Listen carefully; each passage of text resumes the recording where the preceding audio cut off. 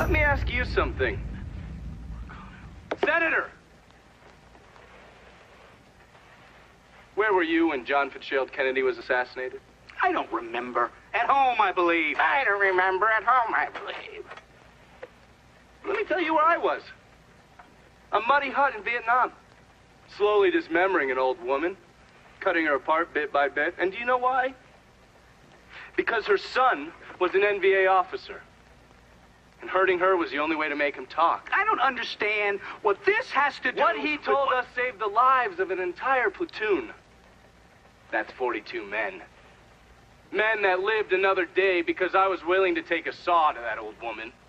Thank you, Mr. Donovan. I believe that. Sit down and shut the fuck up!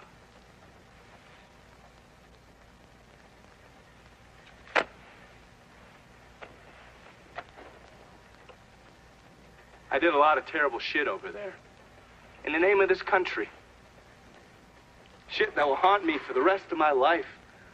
But I did it because I believed in the fight. I believed what this nation stood for. So, to be sitting there ass deep in mud with that old woman scattered all around me, and hearing that the President of the United States had just been fucking murdered, well, I knew right then and there that I couldn't let that stand.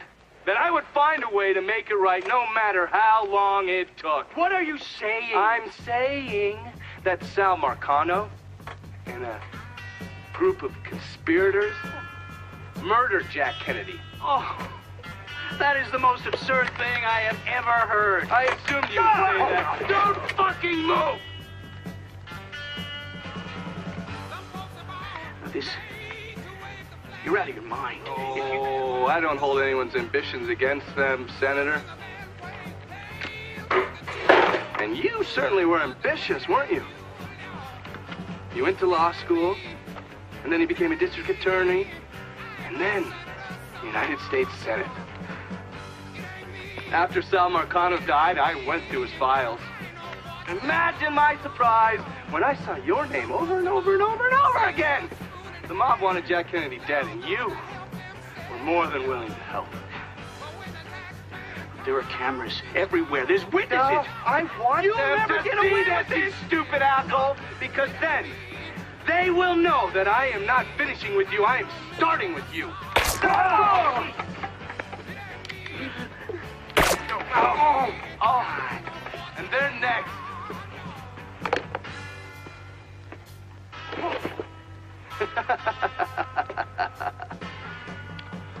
Gentlemen,